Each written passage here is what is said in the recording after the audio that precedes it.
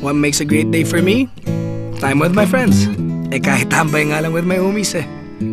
The wins, the nominations, um, I take it as a pat on my back so that I know that I'm doing my job. I'm loving it.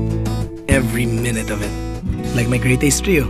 The same great tasting 3-in-1 that I love with the right mix of coffee, cream, and sugar. Simple choice, man. Now that's a great day for me.